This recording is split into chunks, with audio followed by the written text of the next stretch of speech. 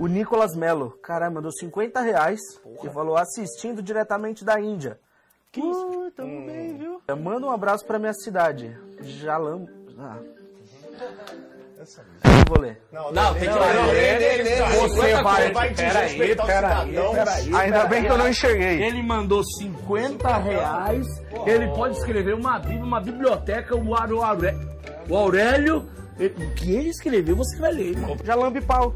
Ah, eu tô ligado. Que tem Já aquele pau. É aquele isso. monumento ali na praça, né? Lá da Índia. Deve ser a metrópole. Da Índia.